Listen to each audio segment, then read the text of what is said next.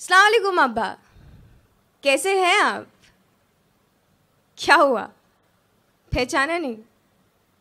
मैं आपकी बेटी, आलिया। कुछ याद आया? कुछ साल पहले तक आप अपने जायज़ बीवी बच्चों से फुर्सत ले हम माँ बेटी के गरीब खाने चक्कर लगाने आ जाया करते थे। मेरे लिए गुब्बारे खरीदने की फुर्सत नहीं थी शायद आपको, इसलिए दो चार रुपए पकड़ा कर अपने बाप होने का फ़र्ज़। आप साद आफरीन पूरा कर देते थे। क्या याद है आपको? कैसे अक्सर आप अम्मी को कहा करते थे कि इसका नाम आफरीन गलत रख दिया है तुमने। इसका नाम तो आलिया होना चाहिए था। मगरूरत देखिए इस चुटंकी की, हैं? और जब मैं फटर फटर अंग्रेज़ी में पड़ोसियों से बात कर रही होती थी तो कैसे आप अपने मस्खरे अंदाज में मुझे चिढ़ाते हुए कहते थे कि I walk in English I talk in English I laugh in English because English is a very funny language और मैं हर बार उतनी ज़ोर से हंसती थी, पता है, अब क्यों?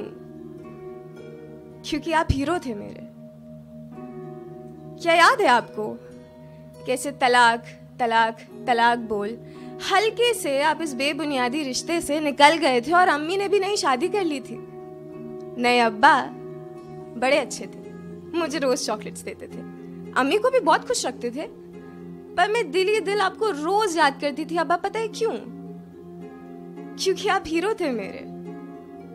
यकीन था मुझे कि ख्वाब में भी याद करूँगी ना तो फट से आ जाएँगे आप मेरे पास।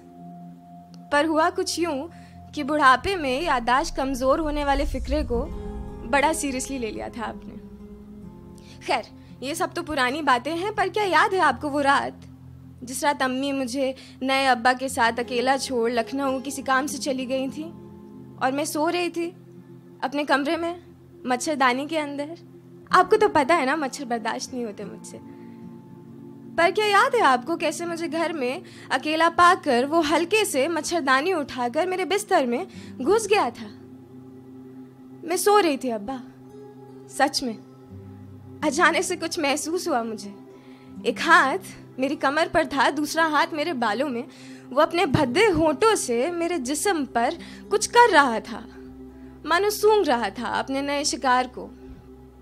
उसकी लंबी उंगलियाँ उन जोंक की तरह थी जो हट जाने के बाद भी अपने निशान छोड़ जाती। ओले मिला बच्चा। एक दफ़ा मुझे लगा आप हैं। ख्वाब से निकल कर मेरे पास। पर क्या याद है आपको? मेरी आँख खुल गई थी और वो आप नहीं थे। नए वाले अब्बा थे। वो आहिस्ता आहिस्ता मेरी शलवार सरका रहे थे और जो गहराइयाँ तब तफसील से गहरी हुई भी नहीं थी, उन गहराइयों में अपनी जोंक वाली उंगलियों से रास्ता बना रहे थे। क्या याद है आपको? मुझे होश आ चुका था और मैं उन्हें धक्का दे रही थी। नहीं, क्या कर रहे हैं आप? नहीं प्लीज़ मैं अम्मी को बता दूँगी। देखिए, क्या कर रहे हैं आप? नहीं प्लीज़ मैं अम्मी को बता दूँगी। एक मिनट एक मिनट मैं अम्मी को बता दूँगी। ऐसा क्यों कहा था मैंने? मेरा दिल तो चीख चीख कर सिर्फ़ आपको पुकार रहा था, अब्बा। अब्बा अब्बा, तभी मेरा दिमाग मुझे चांटा मारता, मेरी जबान चिल्लाती, अम्मा। अम्मा, क्या सुनाई दिया था आपको? नहीं, क्या कर रहे हैं आप? नहीं प्लीज़ आ दर्द दर्द हो रही प्लीज़ मत करिए। नहीं, अम्मी अम्मी, अब्बा प्लीज़ नहीं, तभी मेरा दिमाग फिर मुझे चाटा मार दो, मेरी जबान चिल्लाती, अम्मा अम्मा अम्मा।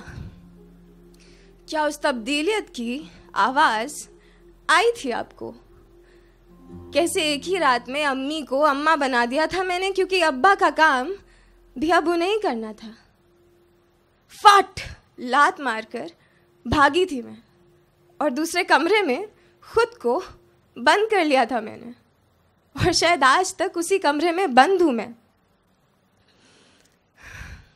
कुछ पैदा हुआ था उस दिन। क्या एहसास हुआ था आपको? नफरत ने हल्के से दस्तक दी थी उस दिन, एक दिल टूटा था उस दिन। क्या भनक पड़ी थी आपको।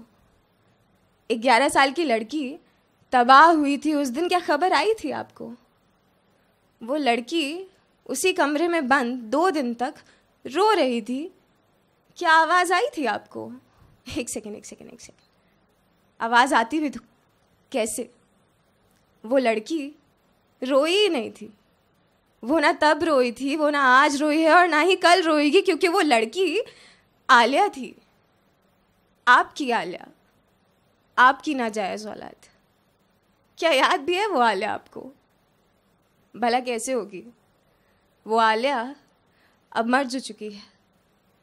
खबर लगी थी कि आपकी तबीयत ठीक नहीं है तो सोचा ख़त लिख दूँ, मगर लगता है बाकी सारे ख़तों की तरह ये भी अपना वजूद उस दराज में पाएगा। अपना ध्यान रखिएगा अब्बा, खुदा हाफिज़।